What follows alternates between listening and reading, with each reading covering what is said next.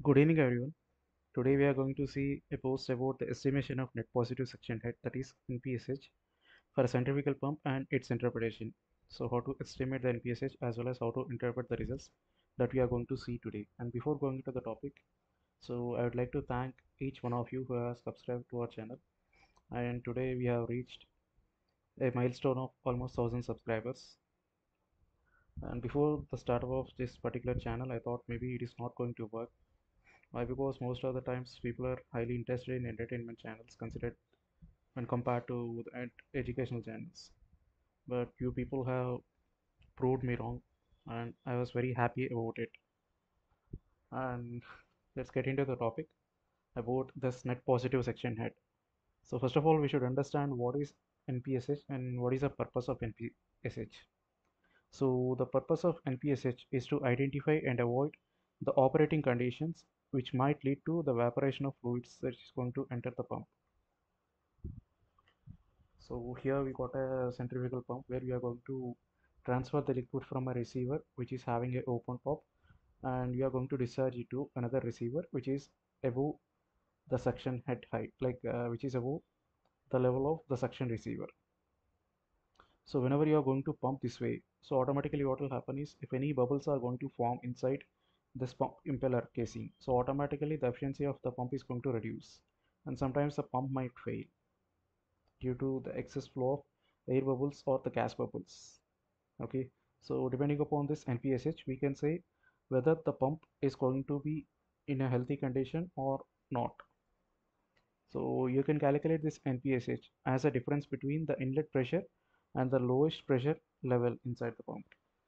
So let me write the formula here.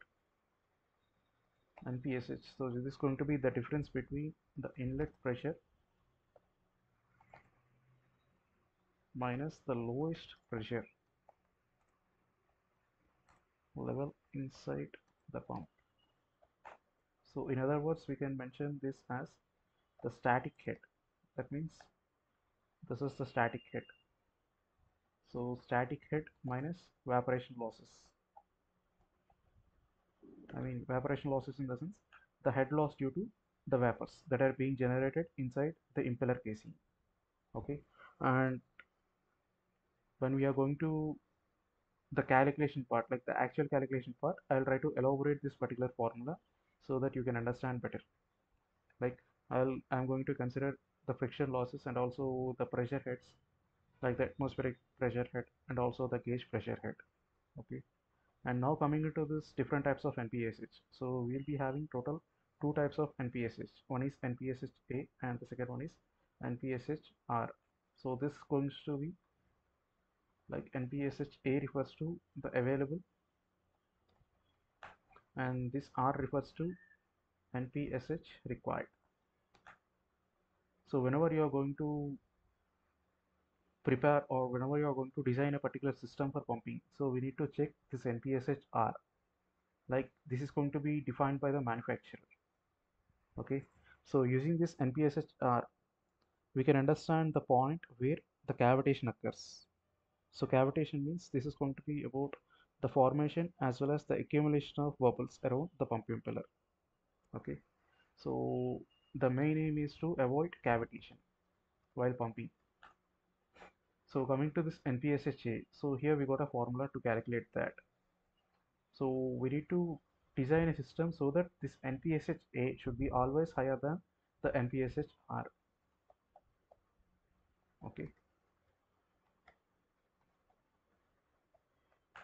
So we need to consider this particular rule.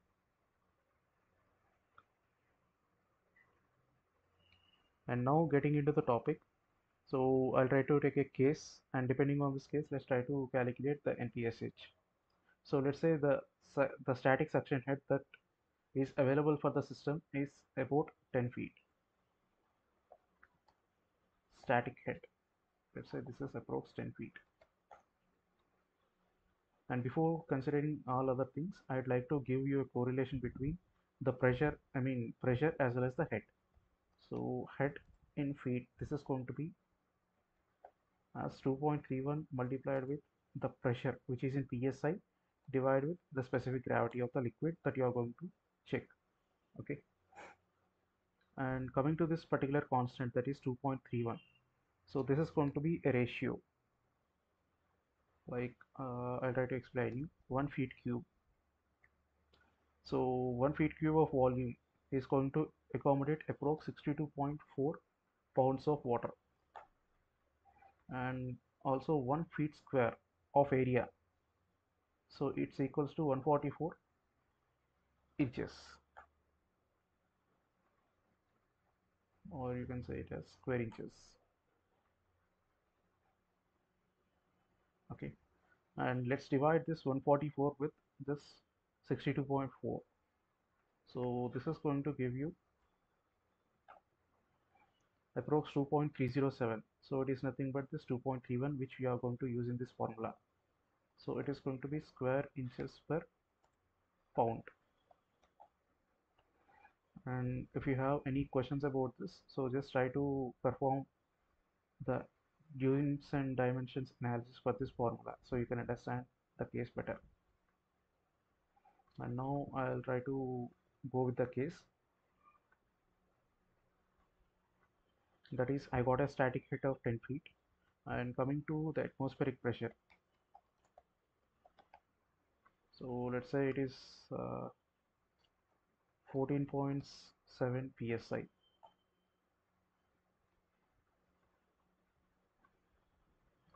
and now I'll try to convert this uh, atmospheric pressure into head and just before that I'll just try to include the gauge pressure also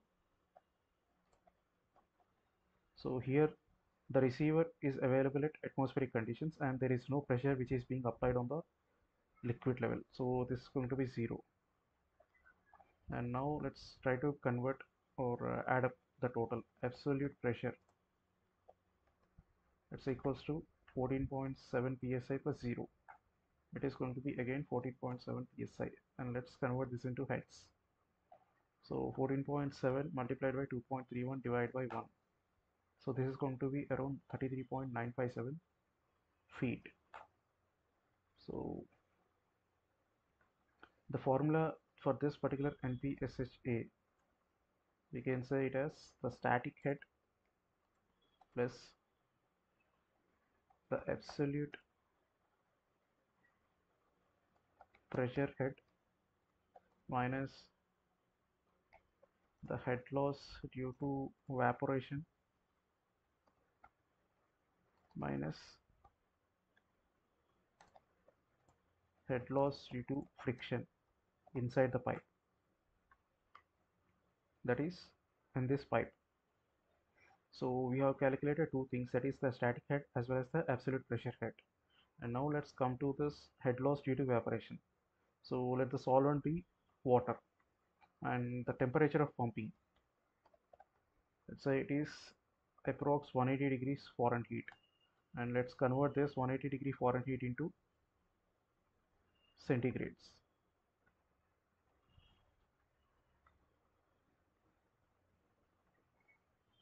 To calculate that we need to check this correlation that is c by 5 is equals to f minus 32 by 9 and here it is going to be like f equals sorry c equals to 5 by 9 into f minus 32 that is 180 minus 32 so the temperature is going to be 82.22 degrees centigrade. And to understand the vapor pressure I'll be using the Antoine constants like the Antoine equation. So the Antoine constants for water is equals to first one is like A it is going to be approx 8.07 and this is going to be 1730.63 and the next one is 233.43 so I have just taken the values of my remembrance. So you can take the values from Google so that you can get some accurate values. So the the vapor pressure it is going to be 10 power a minus so that is 8.07 minus B that is 1730.60 divided by T plus C that is 82.2 plus 233.43.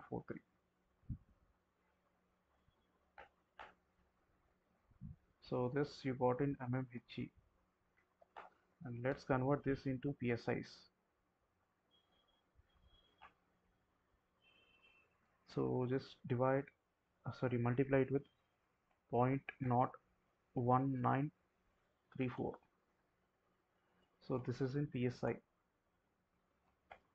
and I'll convert this psi to head. I mean the pressure into head by just multiplying it with 2.31 divided with 1 that is the specific gravity of water. So I got it in feet so from the particular temperature I have defined the head losses due to the vapor pressure. So it is going to be 17.27 and the final one is the head losses due to friction. Okay. And let's say the line or the piping length is almost 12 feet. And the pumping rate is 50 gallons per minute. And using this we can check the friction uh, loss tables and depending on that we can estimate the friction head. And let's say the line size is 2 inch. Okay. So let's refer. So here we got the tables like one and a half inch two inch two and a half inch three inch and six inch. So up to six inch we got a head losses tables. And as we are going to use 2 inch line so in this we are going to check the discharge that is in gallons per minute. So we are going to use 50 gallons per minute. So here it is 50 and let's say here it is the head loss due to friction that is around 4.57 so the head loss is equals to 4.57 feet per 100 feet of line. So this we need to check. Friction losses for water in feet per 100 feet of pipe. Okay that means for 100 feet of pipe you got a loss of 4.57 feet. For 100 it is 4.57 and we have only 12 feet of line and we need to check with respect to that.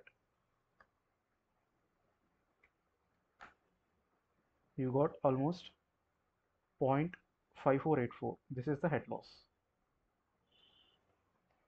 So this is going to be head loss for 12 feet. That is 0.5484 and now we can calculate the NPSHA so NPSHA this is equals to the static head.